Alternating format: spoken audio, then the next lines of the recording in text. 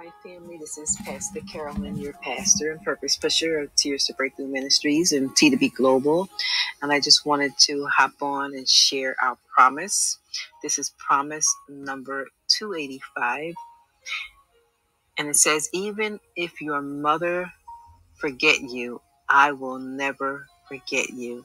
How many of you know that God will never forget you?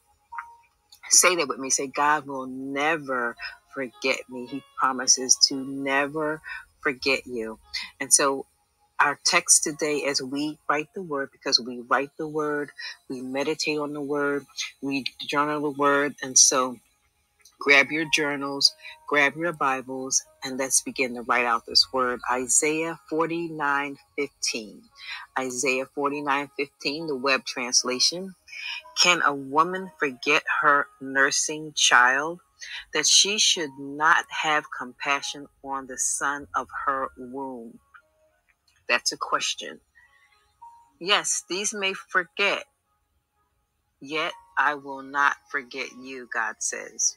The Bible tells us in First John 4:16 that God is love. He is the complete expression of every possible type of love. And see, some of you are looking for love in all the wrong places. And God is saying today, everything you're seeking, you can find in me. That includes love.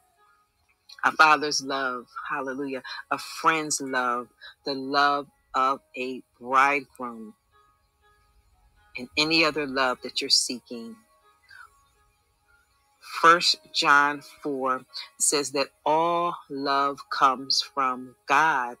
In today's promise, we see a feminine expression of the love of God.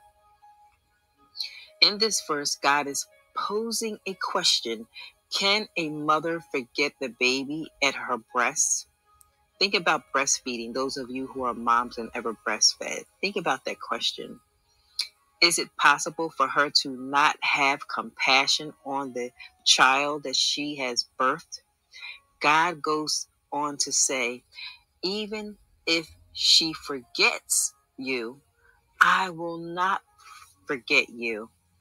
The following verse in Isaiah 49 16 continues as God tells us that He has engraved us on palms of his hands. That is good news, family.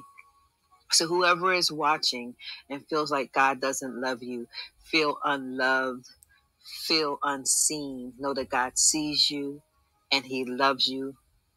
After all, he created you, he fearfully and wonderfully made you. And so, what a promise that we have no matter what happens in life, because we see things happening all around us and they're not all good Actually, they're pretty dark. But no matter what form of rejection we receive, even from our parents, know that God will not reject us. He will never forget us because He loves us with a father's love and He loves us with a mother's love too. May the love of God overwhelm us today with every love that we need a father's love, a mother's love, the love of a friend, the love of a savior. May we learn to live in the love. Hallelujah. First John 4 16, more and more for the rest of our lives. In Jesus' name, amen. Have a blessed and marvelous day. You be encouraged and not discouraged. And I'll see you the next time.